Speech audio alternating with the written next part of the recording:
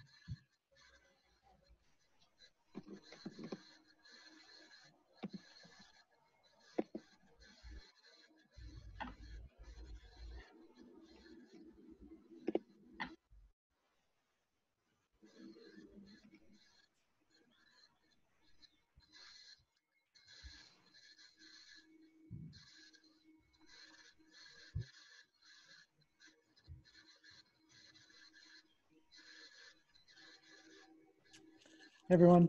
We'll be starting in about a minute or two. We're getting that sort of last minute burst of uh, people. The count just shot up by 30 in the last 20 seconds or so. So once we start to level out here, we'll get started. Maybe one more minute.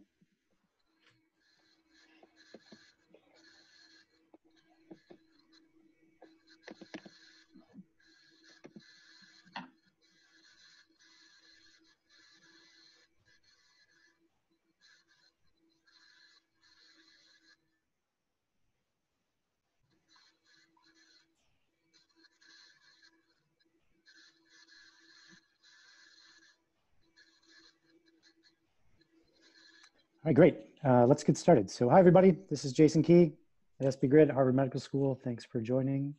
Uh, a couple of announcements before we get started. So uh, be sure to check our schedule for our, our, webinars. We'll send out emails as well, but uh, the webinars are there. They're available to anybody who wants to join. And uh, we've got a, a, good schedule going forward for the next uh, month or so. We've got um, Daniel Pana from Leicester is going to be on April 17th. We've got Pablo Conesa about Scipion, that's coming up in on the 21st.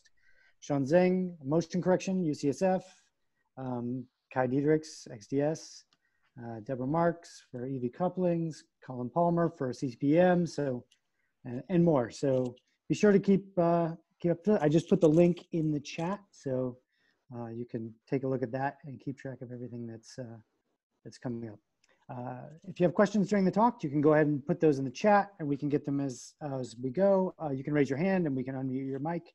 Otherwise, keep your mic muted as we, as we go. Uh, these will be recorded and on our SB Grid TV YouTube channel. So uh, if you want to rewatch or catch a bit of it or send it on to a colleague, feel free. Uh, and with that, I'll kick it off. So today we've got Dorothee Liebschner who is uh, joining us from Berkeley, who's going to talk about uh, map sharpening. So Dorothee, go right ahead. My presentation is about map sharpening, model building, and other cryo-EM tools in Phenix. So it's the third presentation about Phenix tools for cryo-EM. And um, before I start, I just wanted to uh, mention this is my very first webinar, so um, I hope it works all well. Um, please bear with me. So I want to start with an overview of the structure solution workflow in cryo-EM. So first we do our experiment, we get some images, and from these images we get reduced data, which is a cryo-EM map. And so where Phenix kicks in is when we have that cryo-EM map, which represents the electrostatic potential, and the first step we want to do with that map is to see how good are the experimental data. So we want to do data quality assessment of that map. Then we want to improve this map possible. So we want to do perform map optimization. And once we have the best possible map, we want to get a model that fits the data. So we can do this by fitting or automatic model building. Once we have an atomic model, we want to improve it and determine its quality. And to do that, we do the refinement, rebuilding, validation cycle. And once we have the best possible model from the procedure, we can move on and deposit the model.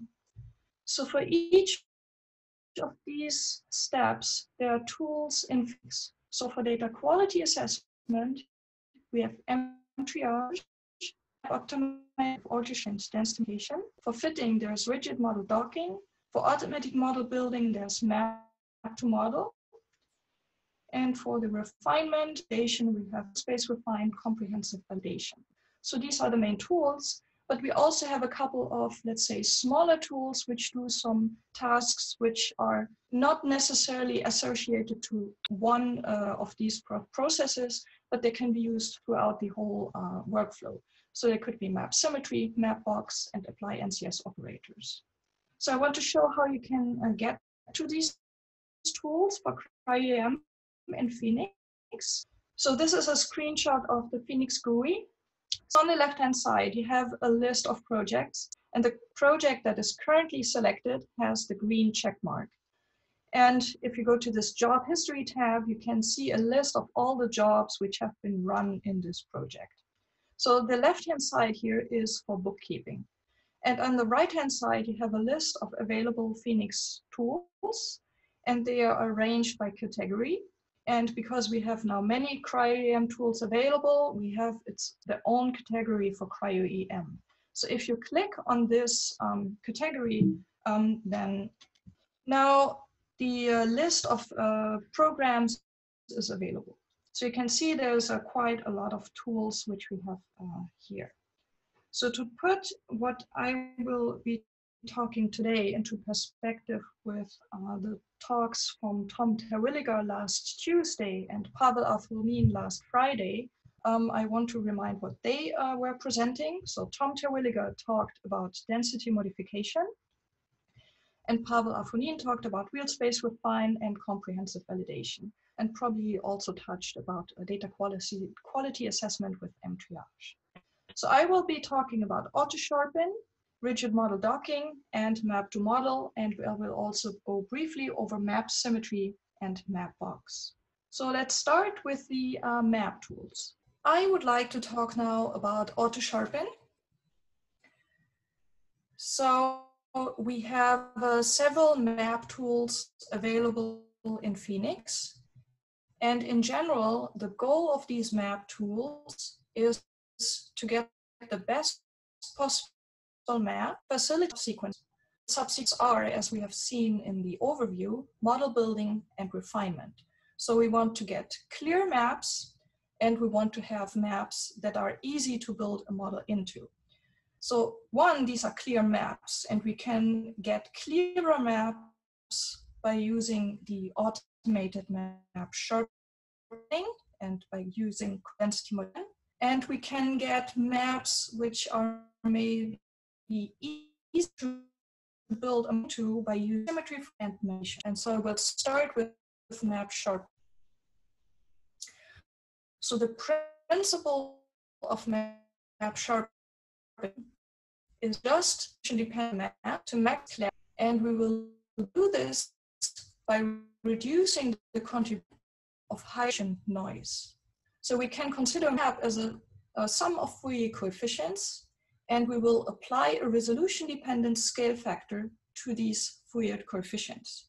If this scale factor, we just call it here B sharpen, is larger than zero, then the amplitudes will increase at high resolution. That means we will sharpen the map. If the sharpening factor is smaller than zero, that means the amplitudes will decrease at high resolution and we will blur the map. So if you want to see the details of this procedure, you can look at Tom's paper where he describes map sharpening in detail. So here I only want to give some overall concepts. So in the next slide, I want to show a video. So I move to this slide and I actually want to stop it because I want to give a couple of comments before uh, things start moving. So here's the little movie. So we have a density, which, and we have a model built into that density. And so the aim of this video is um, showing how the appearance of the map changes as a function of the overall B factor. So the overall B factor is shown in the top right here. So just look at the B factor and keep in mind how the map changes. So the B factor will increase first to 300, and then it will go down to minus 100, and then it will repeat this again. So we can have actually a chance to see what's going on.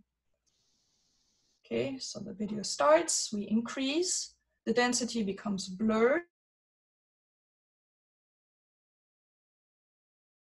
was disconnected. So many people go up again.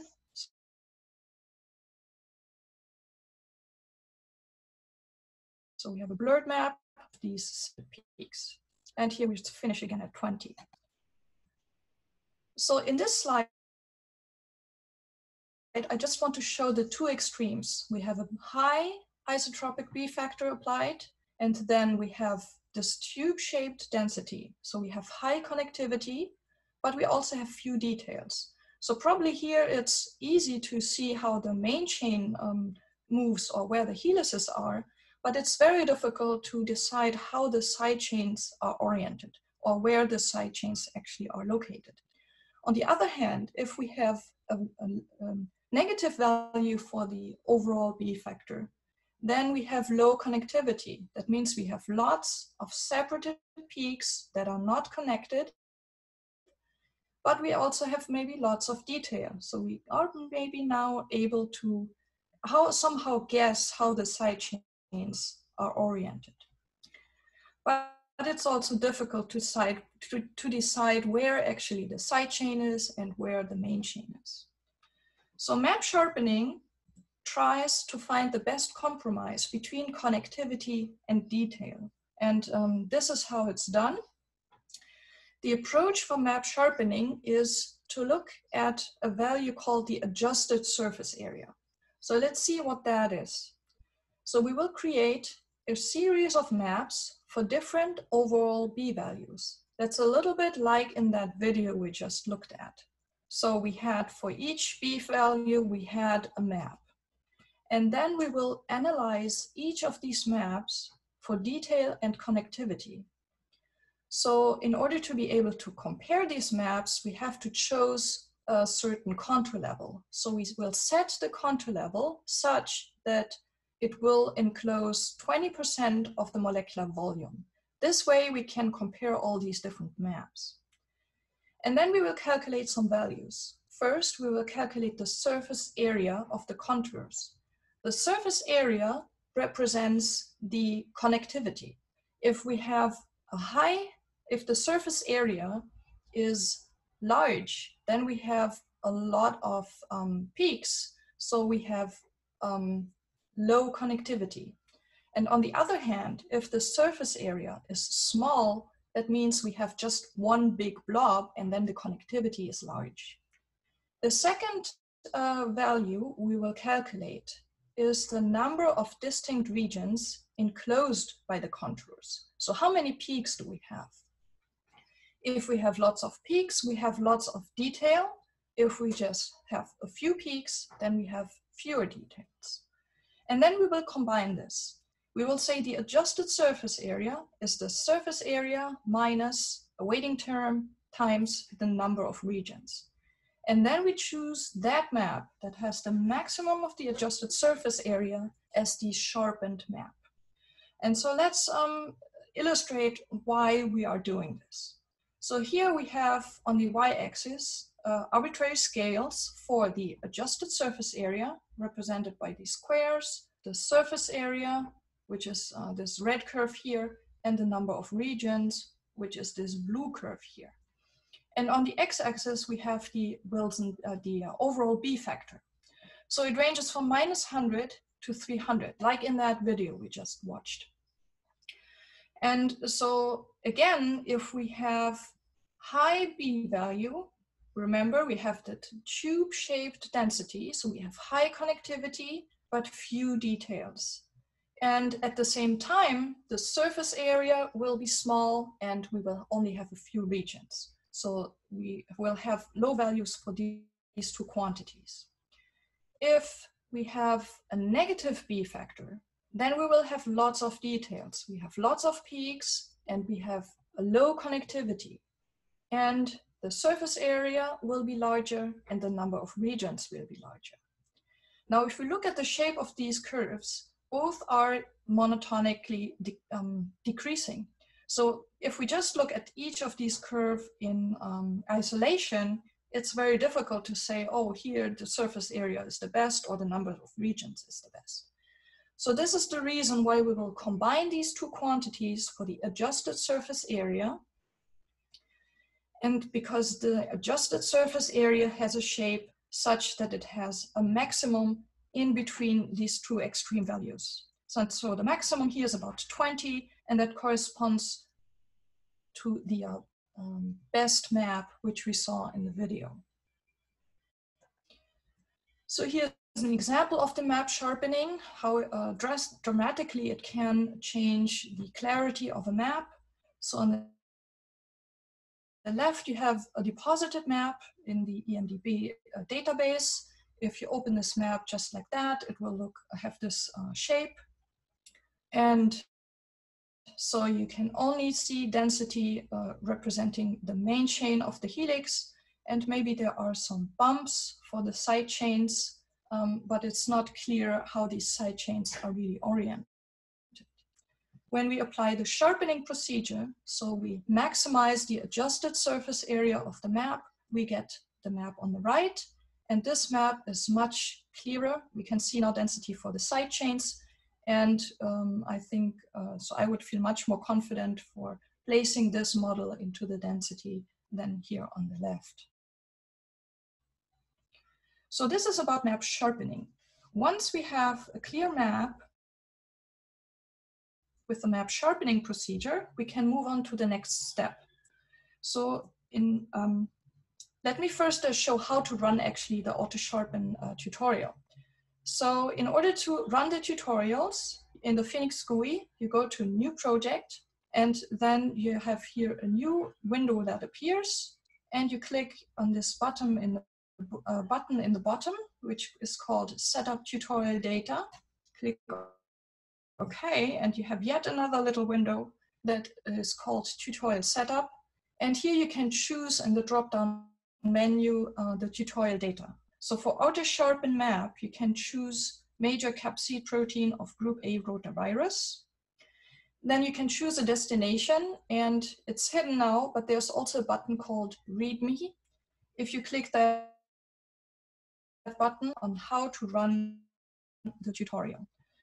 So if you forget to click that button, that's not a problem because that text file is also in the directory with the tutorial data that you just create um, with this procedure here. So you can still look at that text file by going to the directory. So let's say we choose uh, this AutoSharpen map tutorial, and then we go to the AutoSharpen uh, GUI. And this is, um, I will show you now which uh, parameters we have to put in in order to run AutoSharpen. So essential to run it are the map file and the resolution.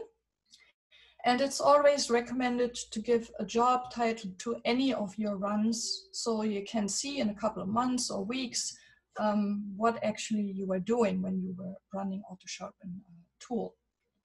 So once we run the AutoSharpen program, we will, the output is a sharpened map file. So you can choose the name or you can leave the uh, default name, which is here and hopefully you can get from an initial map that is not so clear to a sharpened map which has uh, more clarity and which can be used for further steps. So now I want to talk about map symmetry and map segmentation. map segmentation. So um, it may happen that the uh, samples used for the experiment have symmetry, uh, have symmetry and so the cryo-EM maps may also have some symmetry. And if this is the case, it is more efficient to work with the unique part of a map. So here's an example. This shows um, a view of the GroEL um, density at 3.5 angstrom resolution. And just by looking at it by eye, we can see that there seems to be some sort of symmetry. So if we count the number of these little density parts, which protrude from that uh, round area, then we have one, two, three, four, five, six, seven. So there seems to be a sevenfold symmetry around the central axis. And here in orange is shown now the unique part of this map.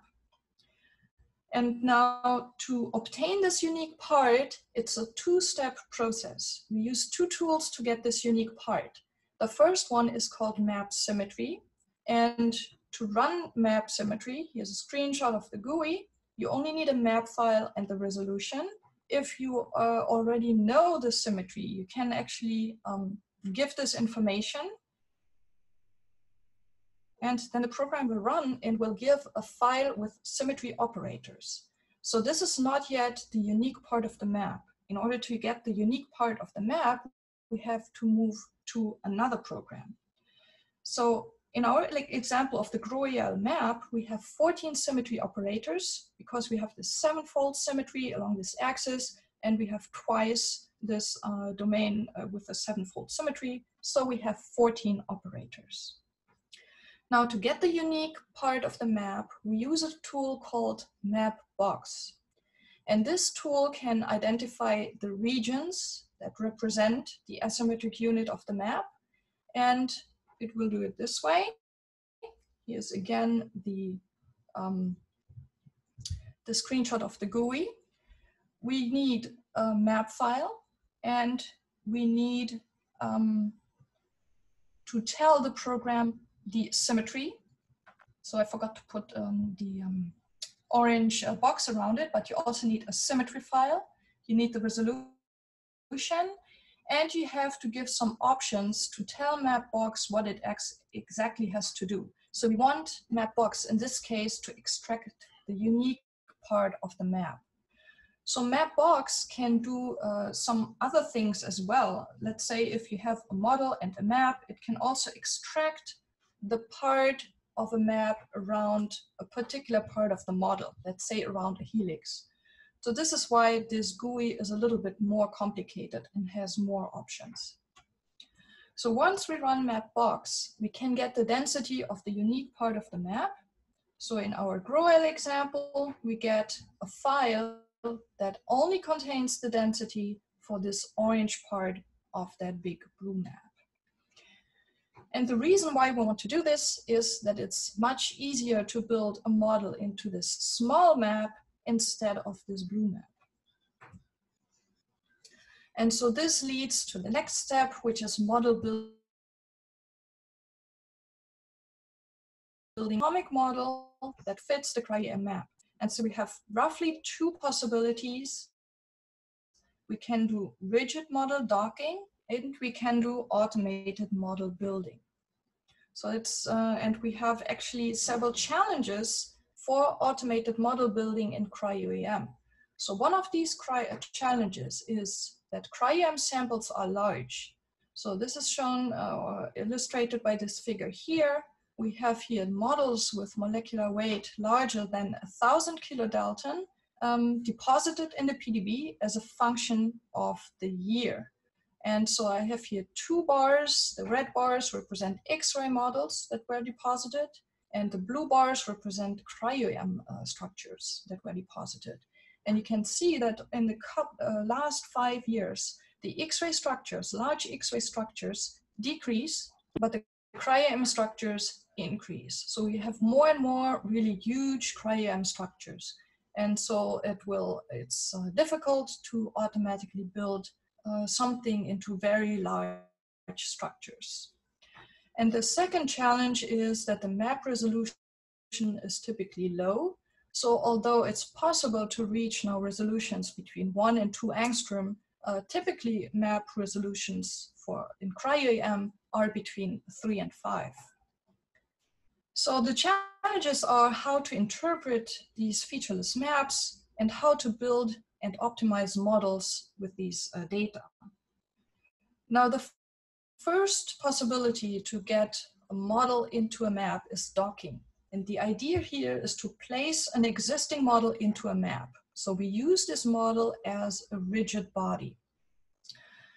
So here we have an example, we have a map and we have a model that fits maybe into one part of that map.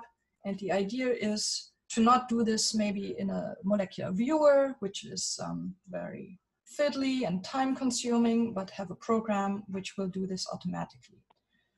So mapped, the model docking will do a systematic search of rotations and translations of this um, model.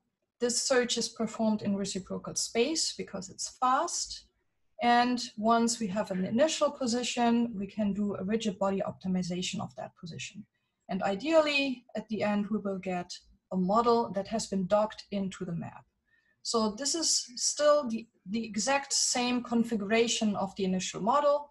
So the side chains have not been uh, moved or the domain, the, these two uh, pieces here, they're not hinged together or anything. It's just a rigid model uh, docking and movement.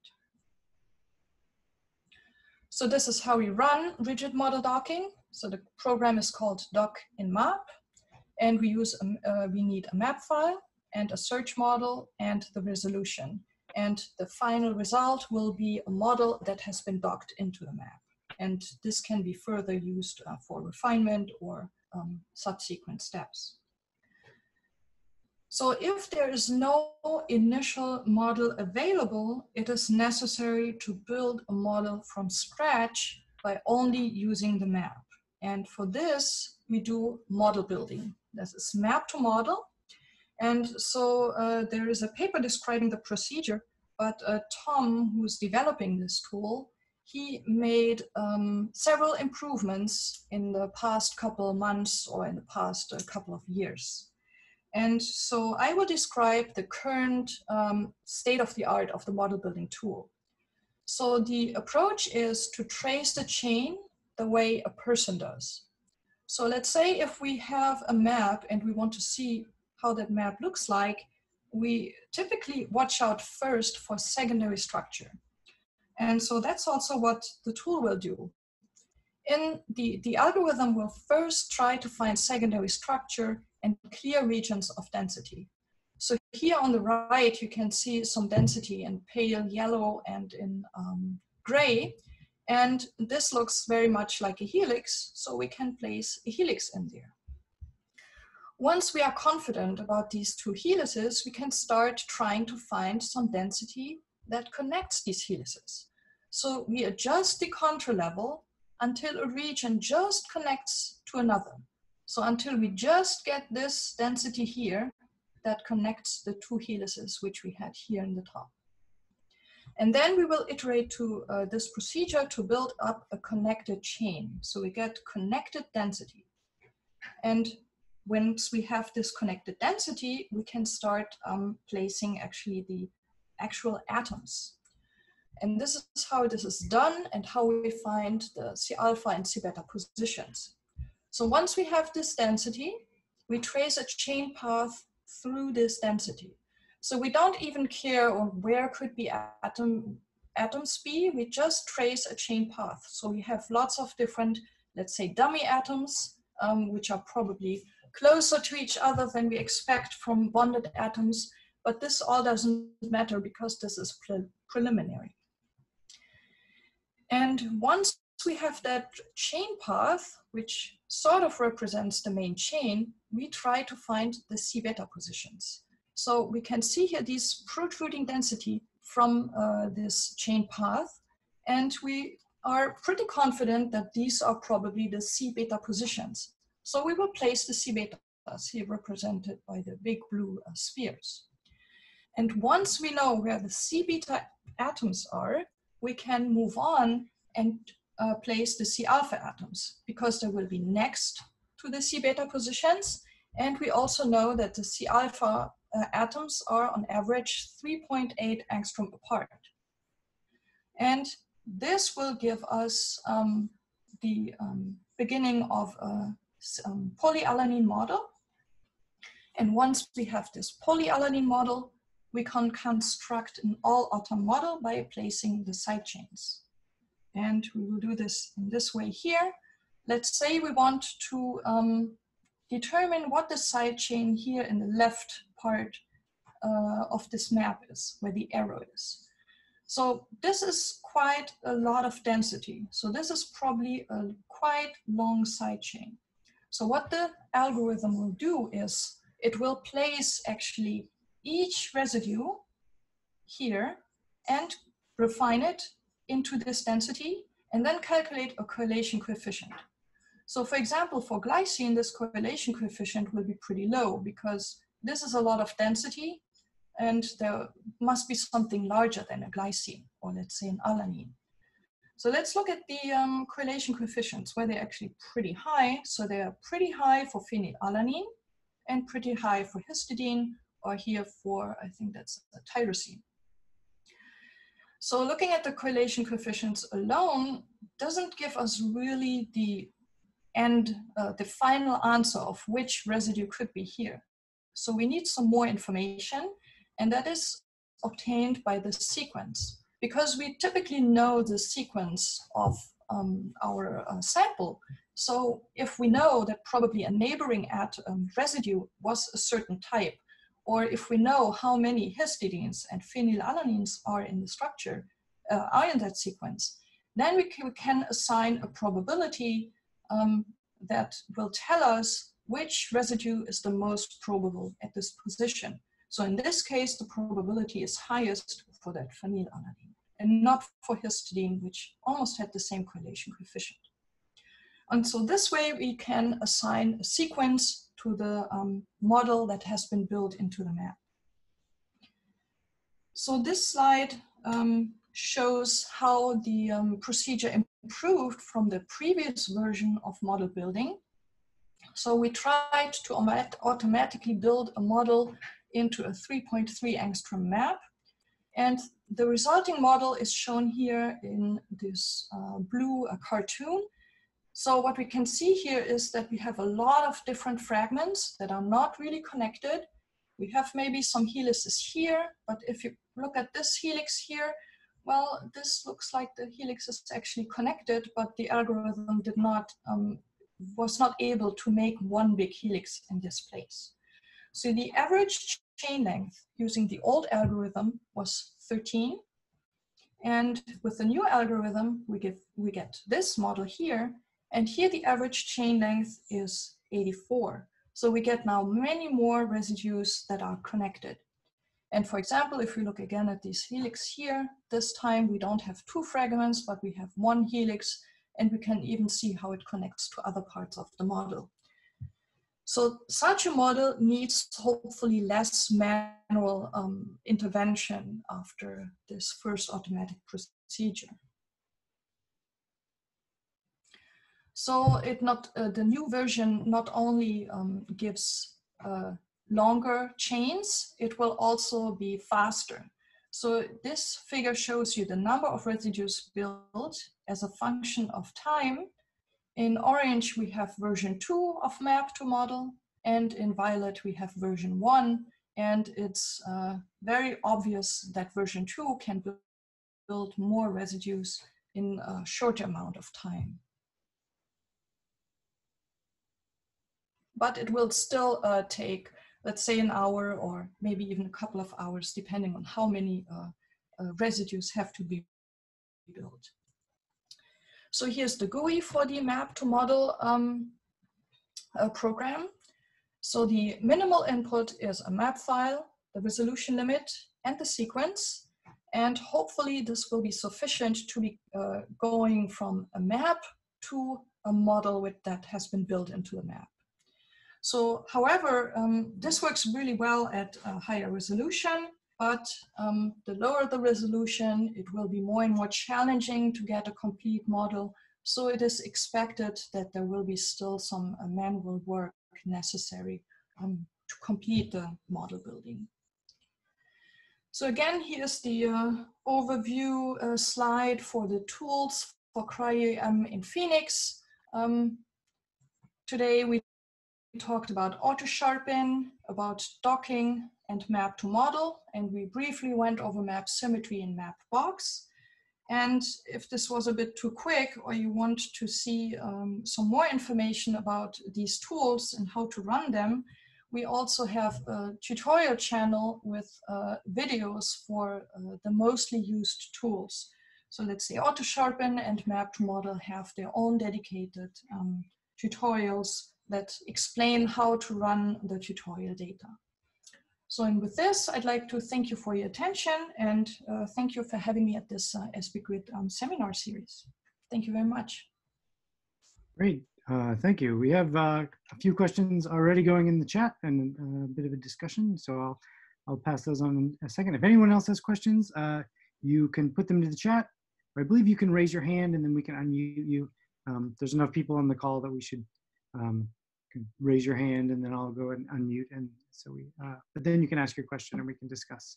So first off, I think people were, um, we're talking about the differences between Phenix's approach in the sharpening and say RELION or, um, and I got an email from someone else who's asking about Frealign and the, um, the differences between the method that you know, Phenix would use as opposed to um, optimal sharpening determined by other programs. Can you talk about that a little bit? Like what yeah, I, I'm sorry because I actually don't know how other programs do the sharpening, so I cannot really comment on that. Um, so I can cannot say what the different approaches are. If the question is what would be the best best method, I would always say uh, try probably as many programs as uh, you know how to use them. Um, that can never be sometimes one program can uh, give a better result than another one. That depends on all the um, default values. So I, am sure that in the end, programs will have, uh, no matter which program, will be able to get a very clear map, but sometimes it's just not clear which um, parameters we need. Yeah, I um, so related questions. Could you um, talk about um, things like nucleic acids or ligands or how those might uh, affect model building in the uh, in the map to model? Okay, so in map to model, um, it will. Uh, I didn't talk about this, but um, I think at one point it will also try to distinguish between um, amino acid residues and between nucleic acids. So it will try to build this, and hopefully there will be also some sequence information about that. Um, about ligands, this decision is not made. So if there's something, if there's a big ligand inside in, in the map, and if the density is visible and clear, probably there might be some um, something built into there which doesn't belong. Um, so let's say it's not possible to give map to model the information of I have such and such ligand in there, please build it for me. So that is uh, not yet possible. Uh, how about lipids? So that's you know, someone asked specifically about micelles, but that's something you know in crystallographic maps we don't we don't run into lipids very often. In cryo-EM, that's a little more common. Yeah, I'm also not aware that it's possible as of now to automatically build lipids. So anything which is not protein or not nucleic acid will have will need require uh, manual uh, attention. So we'll have to look at the map, make sure that something has not built into that density. Uh, let's say if it's lipid density, that nothing else has been built into the into it. And if no density has been put there, then you have to place that lipid um, manually. Could you, could you comment on resolution? Like where, where do you think you're seeing the, sort of cutoff or where it wouldn't be useful to use this approach? Or is this something you can do with, say, a seven angstrom map, a five angstrom map? You mean map to model? I think from both uh, both uh, perspectives, actually, from the sharpening and the uh, map to model. But I think this okay, question so, was maybe specifically for map to model, but. Okay, so map to model, um, I guess anything which is lower than five angstrom will be very difficult. So I would not expect uh, too much. Um, between four and five, I guess it depends on how clear the map is. It, it's still able to build something, but it might require more uh, manual uh, model building and rebuilding after that. And I guess everything better than three might actually work quite well.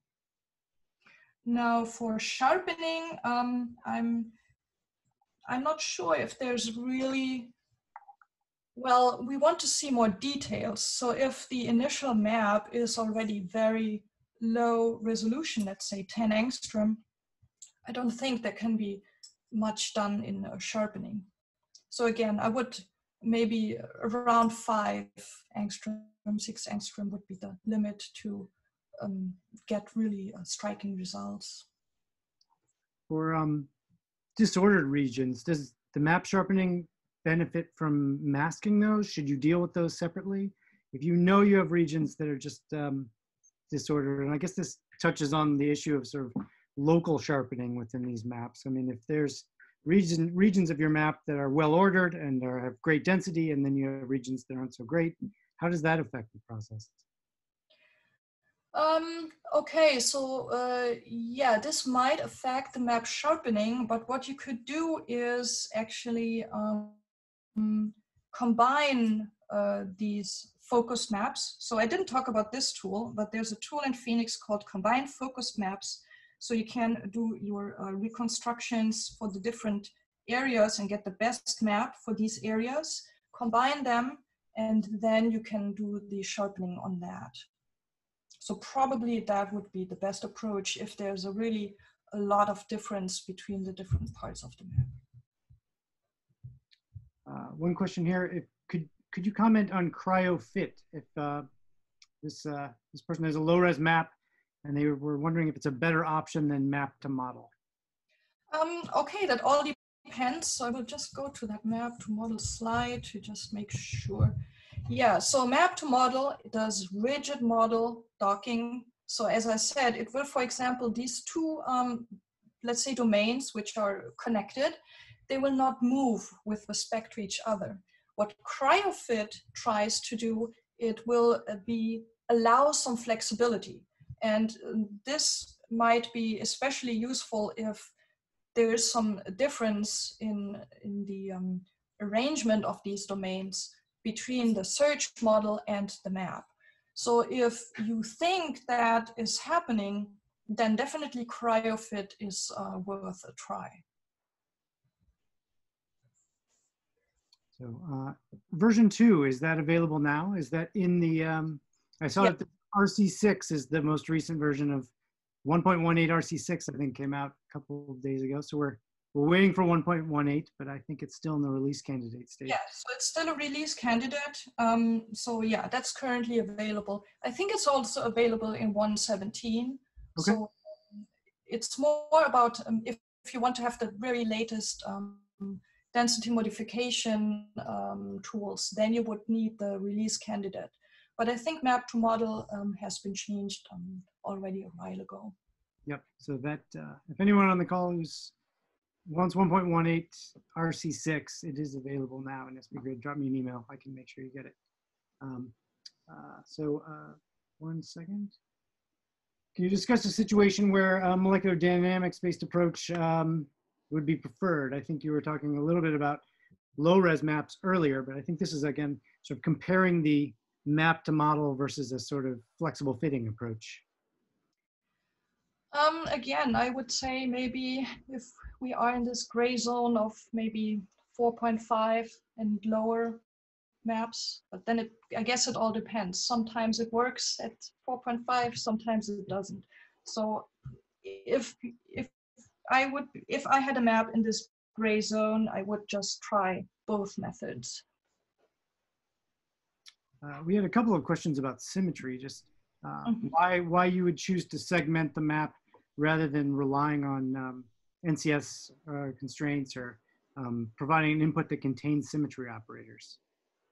Um, okay, so um, the uh, when we want to get the unique part of the map, That's um, for model building. So in model building, it would make, um, it will slow down the process. So it's faster to build something small, and then we will actually apply the symmetry again to reconstruct a model for the whole thing here, for the whole map, and then we will refine the whole model.